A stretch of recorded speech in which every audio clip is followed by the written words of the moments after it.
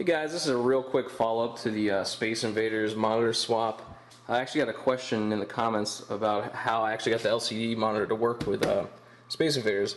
And uh, I admit I kind of just glossed over it because that wasn't my original intention. I was trying to put the CRT in there and I ended up busting it up. But uh, so I, I, just wanted to take a few seconds to go a little more in detail. Blech, can't even speak. A little more in detail about how I actually got it to work.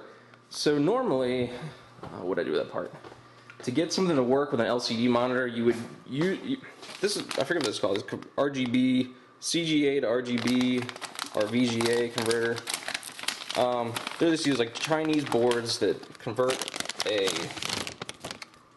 um, arcade video signal into a VGA out, and that's actually what you do with all. Well, 90% of these games in here, this is what you would do. But uh, with Space Invaders, you actually don't have to do that all you need is a yellow composite cable, which, oh, I had one of those laying around too. It's the, uh, and I don't have my cable. It's the uh, yellow cable you use to plug in like uh, your PlayStation or your N64 back in the day. Yellow video cord. Um, RCA cables, you can find them. They'll be labeled RCA or uh, composite video. But uh, that's all you need to get this thing to work. And uh, the monitor I actually used had a, you're probably not to be able to see if I don't have a flashlight. Dun dun dun dun. Bam. The uh, monitor I actually put in here, it's actually a TV. It's an LCD TV. But it actually has, you can see up there, it already has a video input for uh, composite video. So I didn't need to do any conversion whatsoever. Uh, actually, I think this has a VGA on it too. So there's a few different things you can do. And the type of TV I used, I specifically got to uh, flip the image, a Sharp LC19SB25U. Uh, that's actually the model number. There's a the, so the, the, type of monitor is a Sharp. I think they actually use the same uh, software for a lot of the monitors. But uh, yeah, I specifically sought this version out because I found online uh, in the manual that it had a reverse mirror option. So check the uh, before you buy anything, just check the manuals online. You can Google the part number, and it can tell you if uh, if it has that feature or not. Also, made sure it had that composite video. So, and then all you need to do to get it to work is you go from this connector here, which comes out of the, uh, it went to the original chassis, uh, which is right here. Sorry, I'm doing run around. I got all these parts scattered everywhere. So this is what the thing looks like taken out. Your monitor would sit up top here facing upwards and this was facing, this side was facing the coin door. So the connector that we actually tapped into was this one right here, this big white uh, uh, Molex connector I think is what it's called. And the wires we tapped into, so the connector was here and all we did is we cut two wires that were going to this two, um, it's actually this Jesus, you can't see shit. Uh, get in there, camera. I'm actually using a different camera too, which kind of sucks as far as quality goes. These two, it's a gray and a purple on the op on the opposite end of the connector. But if you were to look at it, the uh, they match to the two farthest right. It's the bottom and the one right above that. These two right here. So you're gonna take these wires out and then you're gonna splice it in with that yellow composite cable. And uh, line myself.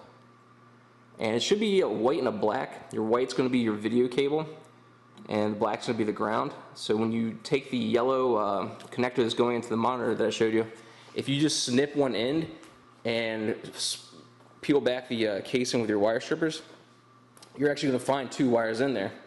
So then all you do is just take those two wires I showed you on the chassis and splice them to that and your video signal should work. And then you just plug your TV in like normal and it should work and I really hope I just didn't speed through that but it's pretty easy. Here's the uh, you don't need anything really extra like no converter or anything it, it just natively works with composite video. But yeah you want to avoid so this is the connector going in it would plug this way. You want to avoid everything on the left side which is purple blue and green. Those are actually your power um, going to the chassis Back over here. Why did I bring this over with me? the uh, those colors I just mentioned, they actually go to this connector. See if you trace it back one quarter from my mouth. Oh. Uh-huh. Uh-huh. Those cables right here, if you trace them back, they actually go into this second connector over here, which then goes underneath the chassis to like the, uh, oh my god, this thing's heavy, to the isolation transformer and uh, the uh, switch that lets you do uh, switch between 110 and 220 volts, or 115 and 230 volts. Okay. So yeah, don't mess with those. That's where your power's coming at. If you put that to your monitor, it could be it could be bad. I don't know what would happen. Just don't do it. So yeah, only focus on the black and the white. And another way you can tell that if you're using the right cables, it's uh oh this is a way better angle. Yeah, it's these two right here. Boom, boom. The uh, they're actually the smallest wires on that uh, connector that we pulled out because it's only it's not um, transporting any power, so it doesn't need to be a thick gauge wire. The other ones, on the other hand, are I don't know what the number is, but they're just thicker wires. So yeah, these two right here, the smallest wires, and they're black and white.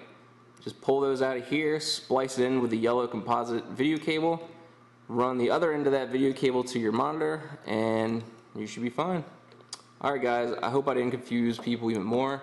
If you got any more questions, hit me up in the comments, and I will do my best to get back to you. Alright guys, thanks.